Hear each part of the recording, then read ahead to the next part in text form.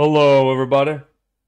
Today, we're going to be going over how to install Daggerfall Unity. This is going to be like a part of a three, four, maybe even five part series on Daggerfall related content because Daggerfall is a complicated game. And if I try and include everything in one video, that's just not going to work out. So, uh, yeah. Uh, for the this first video, just gonna be installation, making sure you've got everything where it's supposed to be, and then in the next video, we'll talk about let's say the class creation and all that stuff. But yeah, let's let's go, let's go, let's go. Okay. So, first things first, you can the easiest place to get your Daggerfall files will be to go off Steam and just uh, you know, just download it.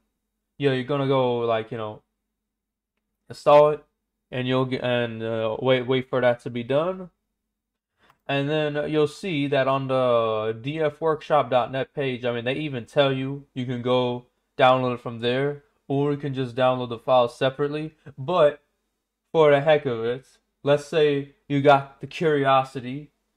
Well, the Steam version you can play the DOS version for comparison as well. That works out. Um, also, there's a couple other goodies um, that I like to point out with that. So before I even show you, well, once you install, I want to point out that when you go, because we got to go extract the files anyways, when you go to Steam, Steam Apps, Common, and you do Elder Scrolls Daggerfall, wow, look at that, we got a manual. We got a manual. We got the, the manual for the game. Uh, and uh, it's not the most descriptive manual, but it, it gives you a lot of the lore and stuff like that. So keep that in mind. Anyways, once you got that installed, you see here, this is this is a good this is a good guide in case my words aren't enough. Go to the releases page here. So you have to visit this website anyways, or you know, you can just find the GitHub. I can link this as well in the description. Go here. Go and uh download. You just scroll down a lot download DFU Windows 64-bit and I'm on because I'm on Windows 64-bit. So go do that if you're on Windows 64-bit. and then there's the other versions. I'm not talking about those. Uh, I don't want to imagine the, the cringe that you have to go for uh, for Linux, uh, for a couple of certain things, specifically finding out where your saves are located at. All right, so you open up that, and now just just make a folder. I got this Daggerfall folder on my desktop. Go and drag. This is an empty folder, right? Nothing in it. Drag that over here. All right, and then I'm also, uh, you know, I'm what, you know what? Well, the game is gonna ask you where your files are. Okay, just in case it's not clear where your game files are when I when you downloaded to Steam, go to Program Files x86. Go to Steam go to Steam Apps, go to Common, then go to the Elder Scrolls Daggerfall in case you couldn't, you know, read here where the game files are uh, specifically you want the this or you or really yeah you okay you know you go to dagger do we have dfcd over here? Go to dagger right here and uh go copy this arena 2 folder and paste it here paste it in the same directory, and you'll be good.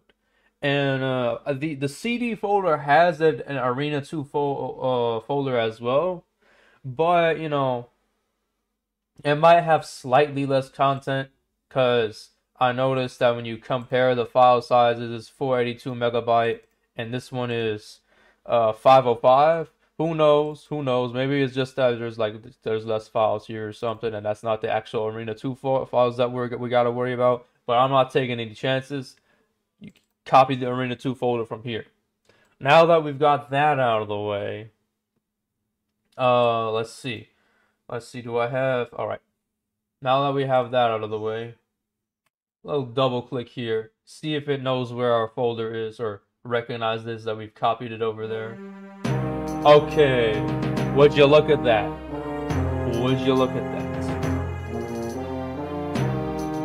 It didn't ask us. If we did not put it in the Arena 2, you'd have to manually go to your Steam folder and click all the way. Well, we did this in advance, so now we're all good. Um, there's some other things I'll, I'll say before I end the video, and that is.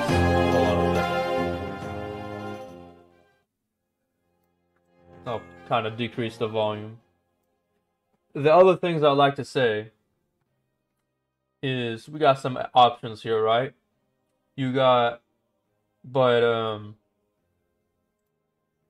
this weapon swing mode is pretty important. It has to do with how you attack in that game and uh, attack in the game, and I'll explain that in the second. Oh no, not the second video, the third video.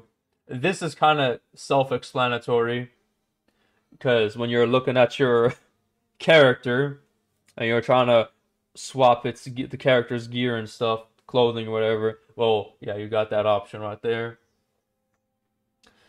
Health in this game, if I recall correctly, is green. Red is stamina. So you have the option to swap that if you think that's confusing, because normally it's the other way around in later games. What else can I say? Uh, Daggerfall's dungeons can get pretty large. So you can enable this to make the dungeon smaller. Keep in mind, this does not affect, this does not affect uh, pre-made dungeons. This affects the randomly generated dungeons. So uh, yeah, there are randomly generated dungeons, which is like a lot of the ones that you'll go to for side quests, and there's going to be the ones that are pre-made. Those aren't going to get affected by this. Sound font has to do with like the MIDI playback of the music because Daggerfall used MIDIs and do not use MP3s, WAVs, uh, I mean W WAV files, um, OGGs, none of that. The computer plays the music. Of course, this is emulating MIDI music. So if you have a different sound font installed, mess with that. If you don't know what a sound font is, don't worry about it. And besides, there's music mods, so you can change the music later on anyways. And uh, let's see, let's see. These are some other nice things, I suppose.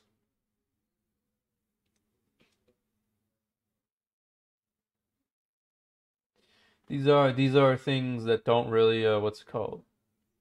The, the, these two that are unchecked are not part of the original game. These are some nice things you can have you normally wouldn't be able to enable magic item repairs.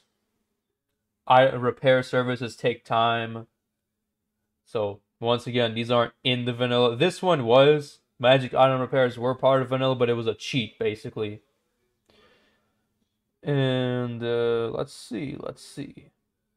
Oh, I recommend raising this to like four or five hours because when you're playing the game, there's going to be parts where you have to wait around for a building to open open that. Uh, so raise this a bit so it's not illegal to loiter for more than three hours. Here you can change your video settings, and as you can see, the field of view is pretty low. Uh, 65 wasn't actually that bad, but you know, I'm gonna raise it to 75 or let's do 78 for the heck of it. Terrain distance max setup. Shadow resolution, I'll raise it to high. Sure, let's do that. And I don't even bother with video filters even. Uh, these are for the colors of the buildings that you see on the maps when you're like in a town or something. But yeah, uh, hopefully you guys enjoyed this video. This is already pretty long as it is. Um, one other thing I want to mention uh, helmets and shields in vanilla Daggerfall do not tell you what material uh, they have, and you do kind of want to know that for character-related reasons. Um, if, especially if you forbid a certain material from your character. So yeah, like if there's a leather helmet, chain helmet, and you say no leather, no chain, you do want to know that instead of picking up something and not knowing. So yeah, like you'd slide that on. So yeah, see you guys in the next video.